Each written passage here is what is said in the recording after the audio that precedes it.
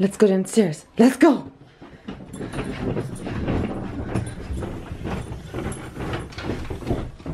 you want to go outside? It's not very nice out there though. Ooh, what do you think? Do you want to go out? Or not?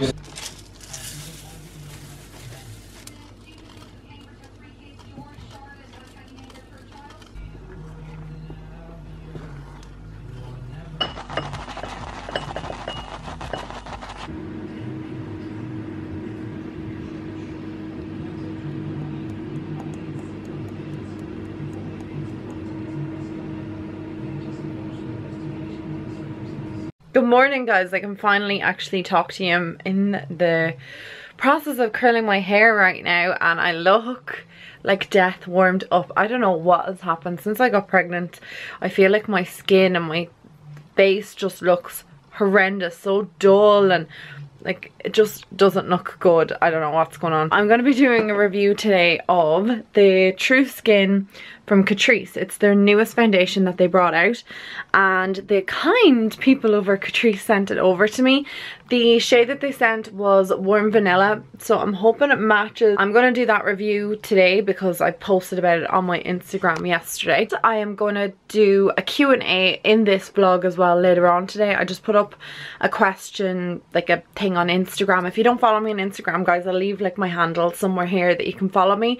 Um, I really appreciate you guys following me over there. It's so great and I can kind of instantly DM you back. I think the last time I did a Q&A was about two years ago, guys. Like, seriously, it's been so long since I've done a Q&A. So I thought today that I might do a little Q&A for you guys. Answering questions that you have about the pregnancy. And I've seen, I just had a little quick look there as well. Other questions just relating to general day-to-day -day things and um, advice and there seems to be like a lot of good questions in there. So there's been two major questions I've been getting tons and tons of lately and I think it's just because obviously I've announced like my pregnancy and the one question I've been getting a lot of is dealing with a, a long-term breakup and how to get over, not get over it, but like move on and then have a relationship with somebody else. As you guys may or may not know, I was in a long-term relationship for nine years. Then we broke up three years ago and obviously I'm with Paddy nearly we'll be two years together by the time the baby's born. So a lot of people have been asking me dealing with the breakup, moving on from somebody and I have great advice and I really really want to do like a proper video on that because I think even at this stage I can give you the advice from beginning to present. Whereas I think if I filmed this video even last year, I wouldn't have as much even information to give you. I know that sounds like really strange, but I just have a lot of information that I want to kind of give you and if I could go back and speak to myself this time three years ago, what I would say to myself because um, I would definitely feel a lot different three years ago if I knew the future but sure that's everybody. So I will do a whole video on that. The next question that I get so much on is where did Paddy and I meet? And how did we meet? And I think that just kind of came about because I wasn't on the lookout for somebody and he just came into my life. And I think that's kind of like one of the best ways to meet somebody. So I think Paddy and I will tell you that story. We're going to do a vlog early in December. You guys have already been asking me, I've been getting other questions um, about Vlogmas. I am going to do Vlogmas this year as much as I can, but obviously I'm still working full time, so it is kind of hard for me to vlog every single day, but I'll dip in and out and try and do Vlogmas as best as I possibly can. So the question about Paddy and I and how we met, I think the two of us are going to sit down and do like a little Q&A and we can tell you that story. So just bear with me on those two kind of major questions that I've been getting. I read the most saddest message, I'd say about two weeks ago now. And the girl eh, that wrote to me, um, she knows who she is because she said she watches my vlogs and videos as well. And I just felt the pain from her and I just know exactly how she felt. She's after going through a breakup. I think she said she was with him five years or seven years, something like that. I'm not sure. It was like between five and seven years. And they had just split up, I think she said in August. So I can't remember. I'll have to go back and read the actual message all again because I did, I was writing back and forth to her.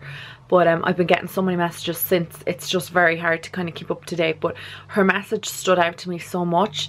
I just I can I can relate to the pain that she's in and I know exactly how she's feeling right now and my heart was absolutely breaking for her. And I just wished that at that moment I could tell her look things get so much better you know even when you're single things get so much better after a breakup. You just get to that phase in your or stage where you're kind of over the whole thing. You've dealt with it all you've moved on and you are just happy being you whether you're on your own or with someone else. And usually when you're the happiest on your own is when the person that you're supposed to be with walks into your life because that's exactly what happened for me. So I'm rambling now guys. I will do a more in-depth video on that. So I've just finished applying the foundation and I really like it and I just think it looks so nice on my skin and I'm super impressed. So I'm going to sit down now and I'm going to answer all the questions that you guys sent me. Well, not all of them, as many as I possibly can. I've seen some repeat ones and definitely some like I was talking about earlier just about like Paddy and I. Um, I have an itchy nose. Paddy and I how we met and like our living situations and what way we're going to be living in the future so um i kind of talked about that in my last video my 12 week update. And Paddy and I are actually looking for a house but we've put it on hold because if you've ever house hunted it's very stressful. It's not a, like a, not that it's not a pleasant experience. Obviously it's lovely but during covid virtual tours it's not fun. And then also the whole added pressure of being pregnant and stuff like that. My home is so lovely and it's very comfortable and my parents are smashers. Like I cannot commend them enough. I am blessed with my parents. So I will be staying here when I have the baby. So that's just to answer that first question. And we're going to continue to keep looking for a house. Obviously, Paddy and I want to live together. It's not the plan that I live at home and he stays with me. And then, you know, that's not the plan. We, we want our own, our own home. But for the first little while or until we find our home the baby's going to be staying with me and also Paddy will be here too. So it's not like he's not going to be with me. He's going to be in my home. So that's like one of the most reoccurring questions. Now I'm going to go randomly through them and see what you guys are asking. Super excited to go through all these questions. Guys there's so many. I just can't wait to answer them. Okay so we're sitting on the floor. I'm quite comfy.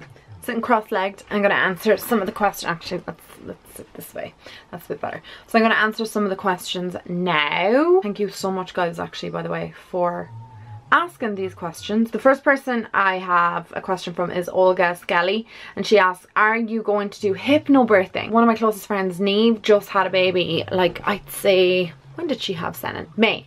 So her experience with hypnobirthing was really, really positive. I just loved the whole sound of it. So it seemed to like relate to something I would be into, especially since I'm really into law of attraction, meditating and breathing exercises and work like that so I really think that hypnobirthing is definitely for me so I need to look into it so obviously I'm still kind of early in my pregnancy to kind of be worrying about birth but it is something I'm going to be thinking about after Christmas so I will be looking into it then but just between now and Christmas I'm I'm going to look into different alternatives and if that's what I want to go with I'm going to definitely buy the program I think you do and I'm going to follow that. Jennifer Dawn you don't have to reveal but do you have names picked out. I'm so happy for you. Thank you so much. We have names picked out for girls definitely. I have two that we are pretty set on and Paddy and I both each of us picked one and the other one loved it. So we have two names picked out. One of them I have had since I was probably a small child. So I've had my baby name for a very long time and the name he picked out I was like that's beautiful. I really like that. So yeah we do for girls.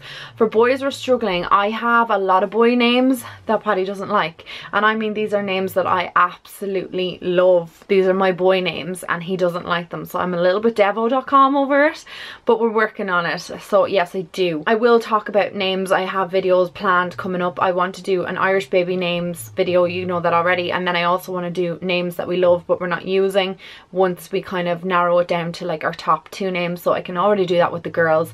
The boys I don't know yet because Paddy doesn't like anything. And every day I like he said I'm gonna set a challenge to myself that every day this month I'm gonna give you a name. So he's done that for the last like few days and I've kind of like vetoed every single name so I don't know, we're not agreeing on the boys. The next question is from Zara Boxall and she asks, are you going to find out the gender? I talked about this in my last video as well. No, we're not until the baby's born and I explain why in that video. Shannon Hegarty asked, am I nervous about giving birth? No, I'm not nervous at all about giving birth. The thing that I'm the most nervous about actually is the after the birth. So once I'm with the baby in the hospital, I'm worried about the aftercare with COVID in particular. One of my friends didn't have a great experience with having giving birth and her experience after the baby was born. One of my other friends had a great experience and this is all during COVID so that kind of scares me a little bit because even though the giving birth is out of my control, I know there's someone there to help me. Nothing will ever happen to me or the baby. I'm not worried about that. It's just the aftercare kind of, again, I know nothing's going to happen to me or the baby, but like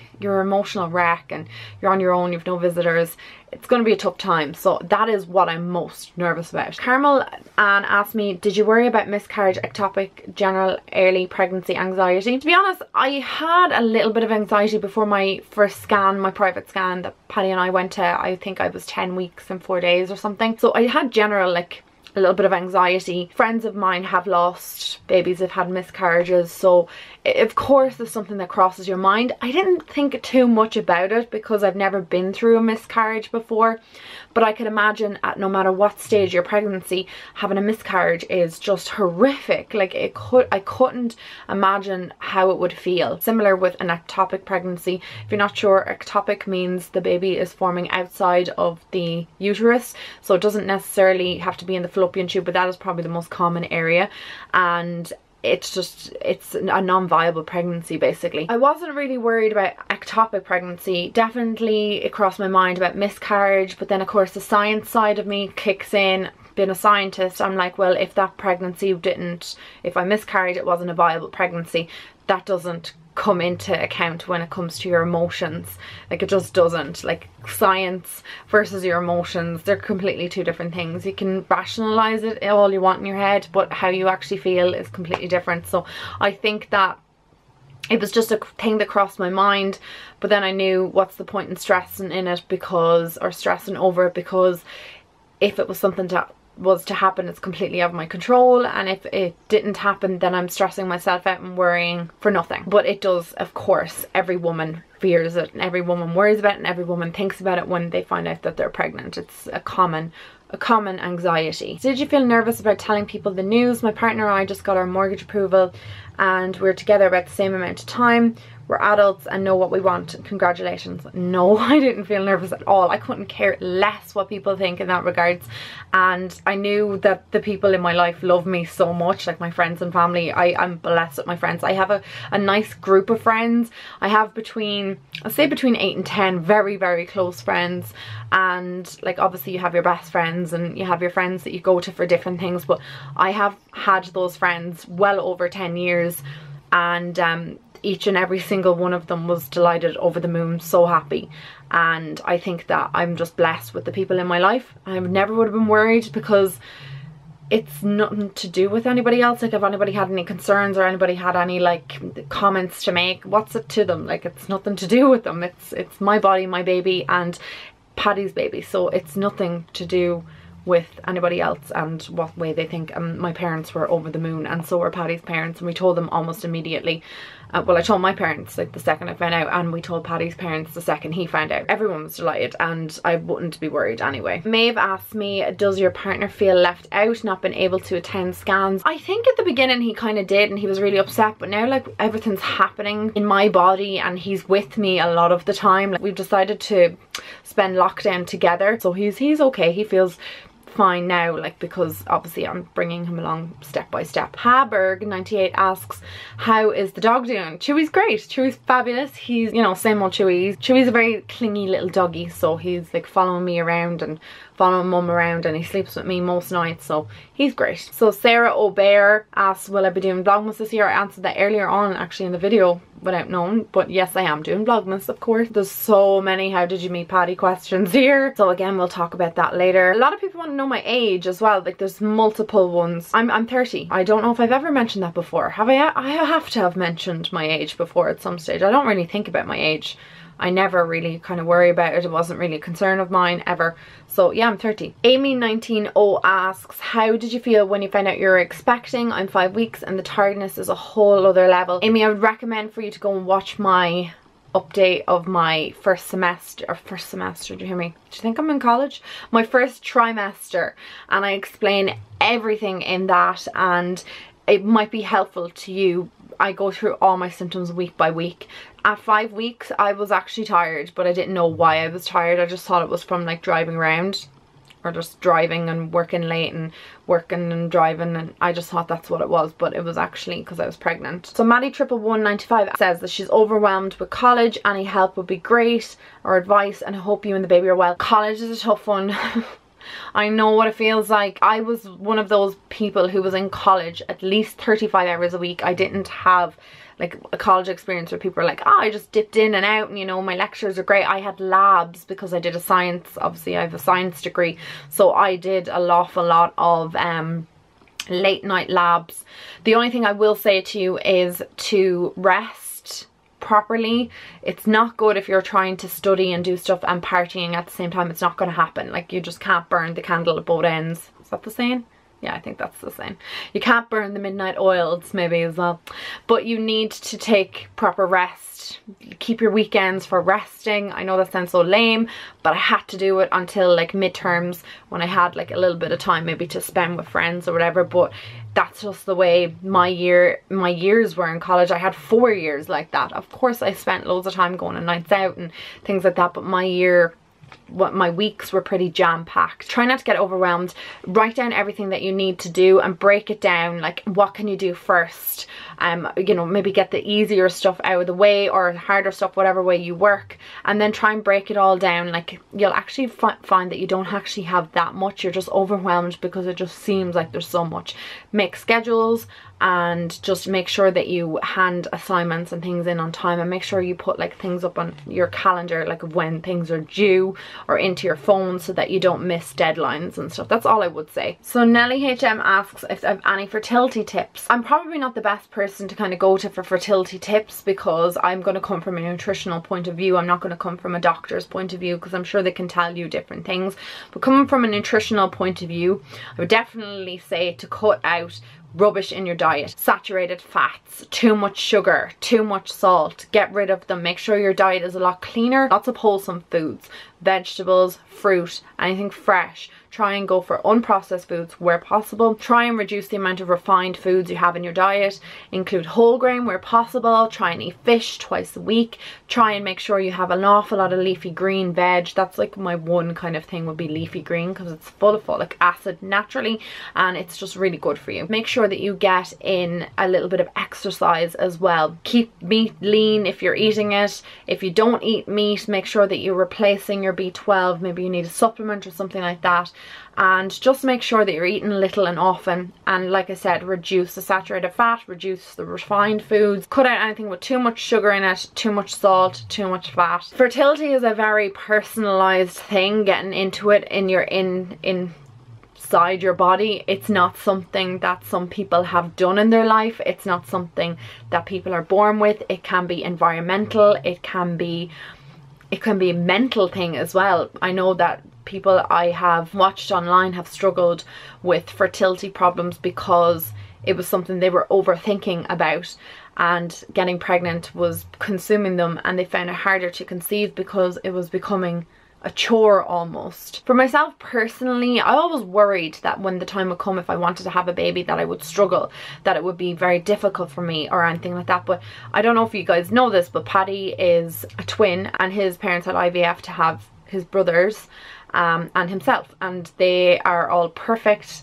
And there's you know there is other options if your natural fertility fertility is not working but I would definitely say clean up your diet where possible and get exercise is like the number one thing number one thing. I know like I've spoken about this before but I probably never went into too much detail. Like you guys know I've suffered from an eating disorder. It was restrictive eating. Um I don't want to go into too much detail on it because it can be quite triggering for anybody especially someone going through it and I I know it's not really it's not a good time in my life I want to kind of go back to. It's something I've suffered from since I was 11. It's not something that I developed overnight. It just kind of has been with me all my life. I've never not known what it's like not to feel like this with regards to food. But when I had um, problems with my periods and they had stopped, my doctor had said to me, if you don't start including foods in your diet again, you may do reversible, irreversible damage to your fertility. And she only said that to me nearly nearly three years ago so it's not even that long ago. So I would say to make sure that your diet is the best that it possibly can be that you are the healthiest that you are. If you need to lose weight try and lose weight. And if you are not exercising get out and do it. That is all I can advise in regards to fertility coming from my specialty and my kind of area of expertise. But I'm sure doctors would definitely recommend other things. So Sophia mummy of two asks oh what she says I'm beautiful and I feel like I've grown up with you. Are you nervous about being a first time mom? First of all, that comment is so lovely. Thank you so much. I'm nervous about being a first time mom. I'm nervous about like kind of the normal things like knowing when my baby wants to eat or if my baby's wet or if my baby's sick. The, those kind of cues that I won't pick up on. But every single one of my friends who has kids, which is majority of them, I think there's only like two or three of my friends who don't have kids have said to me you know your baby and you know what your baby wants and you will you'll just know i guess like my first time mum things are all like if i'm doing things wrong that's kind of like the only concerns i have but i'm sure every mother felt like that at the first time they had a baby. Decisions to have kids, environmental impact versus wanting them. I want them, my partner is not sure because of the impact on the planet. What I'm picking up from that is you want to have a baby and your partner says the earth is too overpopulated and no. First of all, how badly do you want children? That's kind of what I look at it like, is this going to impact your mental health down the line? And if the answer to that is yes, then I would say the option for you only is to have children. And that doesn't necessarily mean you have to give birth to them. You can adopt or foster. I know that they are very complicated kind of ways of introducing a child or having a child in your family because I know adoption takes an awful long time. There are so many boxes to be ticked.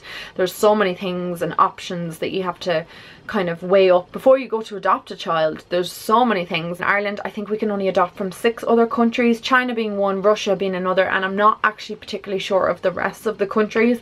I'm presuming Ireland is the other country we can adopt from since we are in Ireland but I know it can be a complex thing but it's definitely something to look into. If you're telling me that you really want children you can't live without having children in your life maybe come to a compromise with your partner. Maybe is fostering an option for you? Do you have an awful lot of love to give? There's so many unwanted children in the world and there's so many children out there that would love to you know be able to come and live in your home and maybe they would you know benefit them in so many different ways. If the environment is a concern of yours and that's like your major major primary concern then I would say adoption or fostering would be your best option. That's not to say that people who have kids out here are not thinking about the environment. Some people can't help the urge the overwhelming want and need for their own offspring and that's just that's okay as well like don't beat yourself up but maybe have a discussion with your partner and see what kind of compromise you can come up with. Like having a child is not really something that you should be taken lightly. It's a human being. It's not a toy. It's forever. It's not something that you should bring into a relationship that's unhappy not solid like anything like that. Like if you even feel like you're I'm not this is completely besides your point but I just feel like having a child is something that you should make sure that you're bringing it into as rounded and wholesome of a environment as possible um, to make sure that your family unit as in you and your partner like are pretty strong. Like you want to just make sure that there's a, a team in it because it is teamwork. I know lots of single mums who've done it alone. I know some single dads and I know that they've done fantastic jobs. So you just need to make sure that your values and his values and everything all lines up or you do decide to have a child or to adopt or to foster. So there is other options, especially if you're concerned about the planet. Thoughts on Invisalign. This is from Cabinet Ruth. I really enjoyed my Invisalign. I still wear my retainer and stuff. I think they did a great job. Was it a little bit longer than it should have been? Probably. I could have gotten it done with train tracks in a much quicker time, but um, they're obviously not as appealing as an invisible retainer. A lot of people have asked this question so I'm not going to ignore it. Initially when I announced my pregnancy it was kind of one of the things that kind of angered me the most this question because of the way it was phrased but she's actually asking it in a very nice way so I will answer it. I know it might be too personal, but can I ask, were you actively trying to conceive or did it happen naturally? I don't really understand what you mean by naturally or trying to conceive because I presume like if you're having sex, you're going to possibly get pregnant. You know what I mean? So that's naturally and trying to conceive. So I think what you mean is, was it a surprise or were we actively trying? I think the way it was worded before kind of came across really harsh and some people had commented to me and said things like, oh my god, I can't believe you just went out and got pregnant. like, I swear, like people have been some people have been really horrible in my comment section. I say I've gotten maybe about 20 to 30 really shitty comments like that. Like out of the thousands that I've gotten that have been lovely. I have gotten some questions like that been like, oh my god, you know, you're so irresponsible, blah, blah, blah, blah.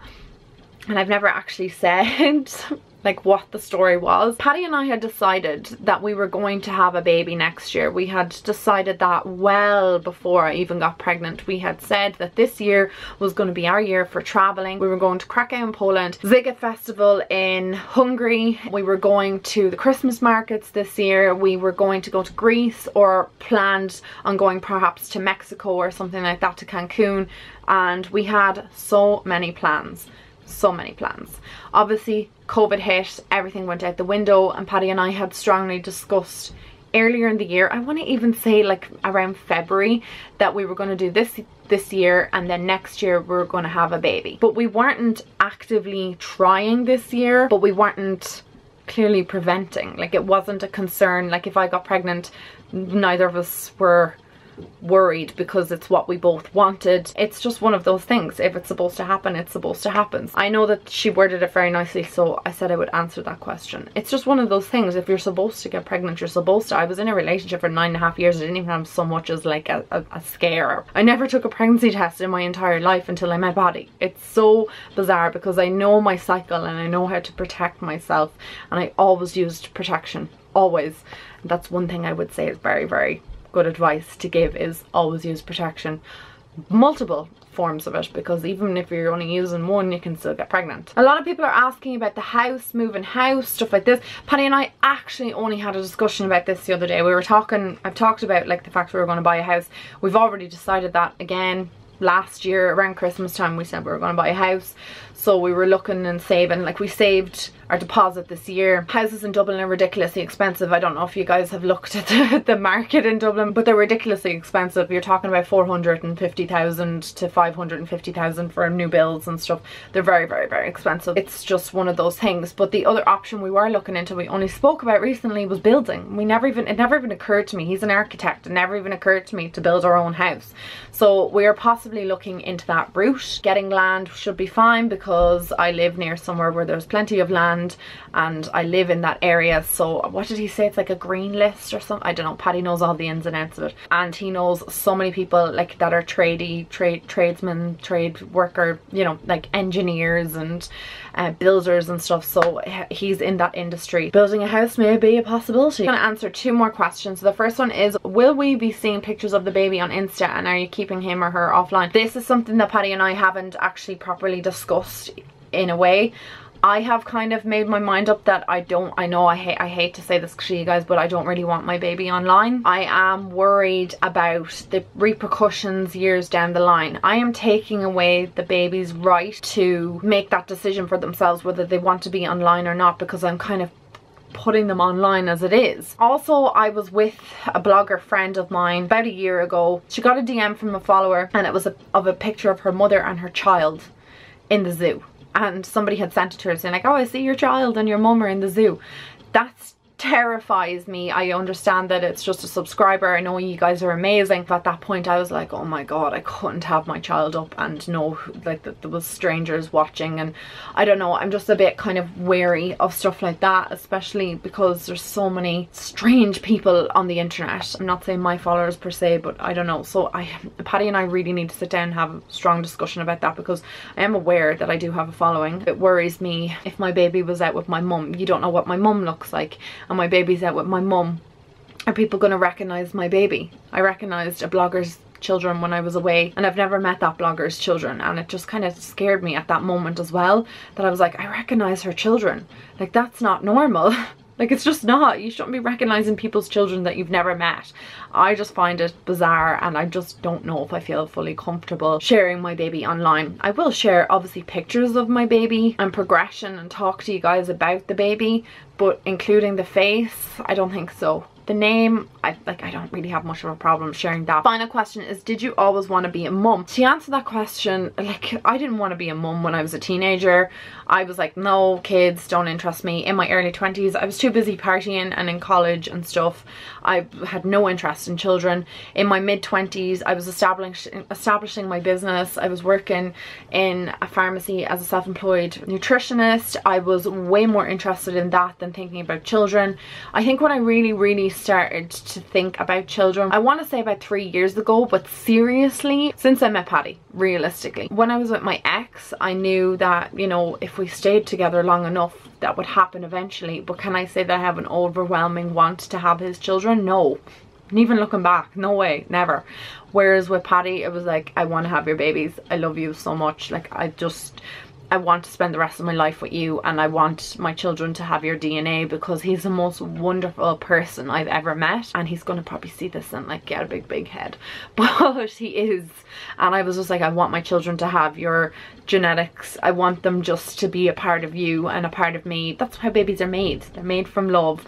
And when you love somebody so much that's just how you how I felt. No I didn't always want to be a mum your life changes, your circumstances changes. I'm definitely not one of those people who gushes over babies ever. I love my friends' kids. I love them. But even when I told some of my friends that I was pregnant, they were like, oh my god, like I'm so happy for you but I I'm shocked at the same time because you're not like I wasn't really one of those people that was always going on about oh I really want a baby babies babies babies I never really kind of voiced that uh, even to my closest nearest and dearest friends.